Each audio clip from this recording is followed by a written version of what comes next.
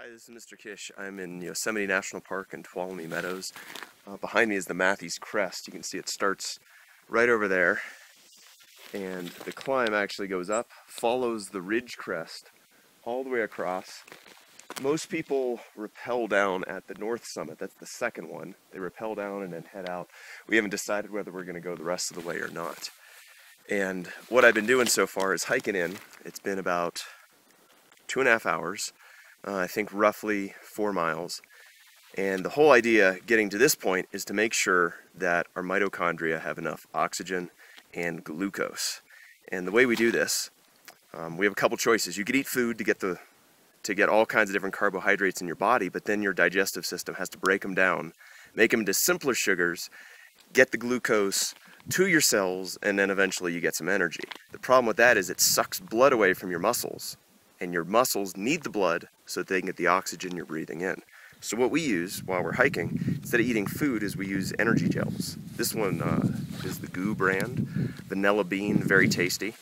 I've got a couple empty ones, and this one is Clif Shot Strawberry. And what these have in them is essentially a really simple form of glucose. It's got some salt, some other flavoring, stuff like that, so it doesn't make you vomit. And it has 100 calories, the idea behind this is you eat one of these, it's kind of like eating a couple spoonfuls full of jelly, and then you drink some water with it. It goes down into your digestive system and goes straight into your bloodstream through the mucous membranes. It doesn't actually, the blood doesn't have to go into your stomach and start churning it and have this go through your small intestine. It goes in there way quicker. So as long as you do one of these every 45 minutes, you don't have to eat.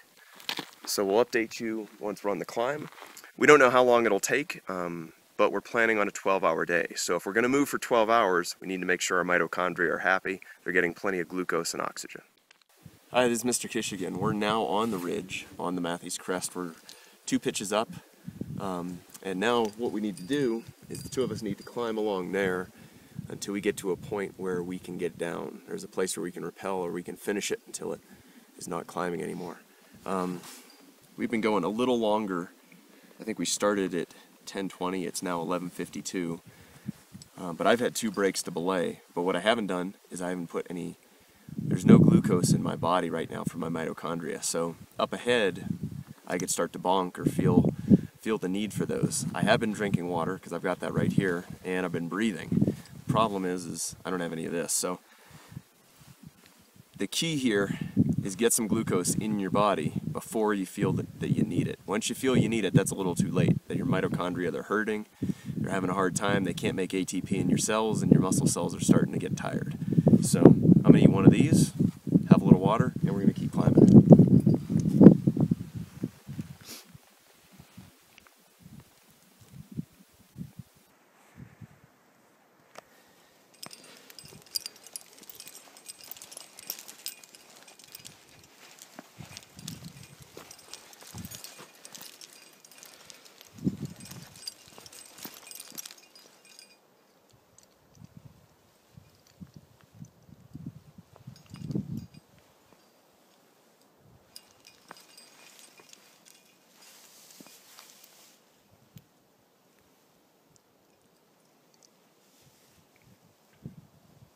Hi, this is Mr. Kish again. We're on the summit now. Um, if you take a look down the ridge, you can see what we just climbed up.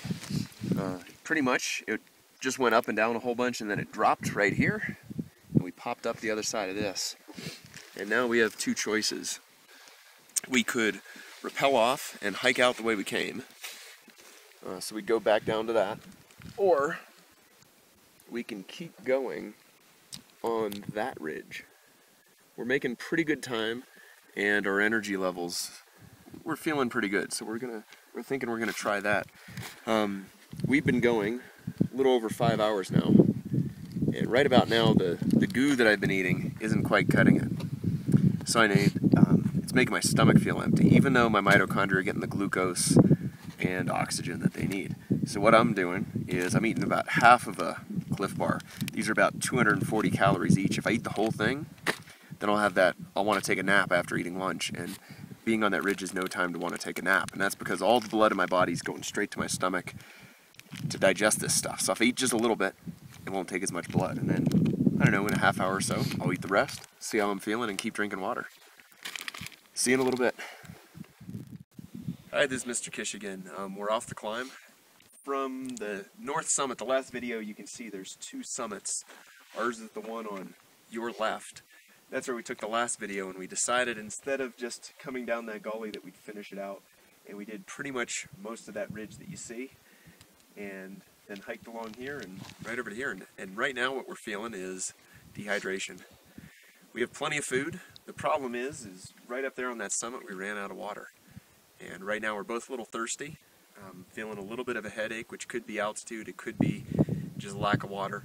And we're gonna punch up over this, start heading down to the car and swing by a lake on the way, fill up our water, um, water bottles, treat them, and start rehydrating. Um, and ultimately make our mitochondria happy.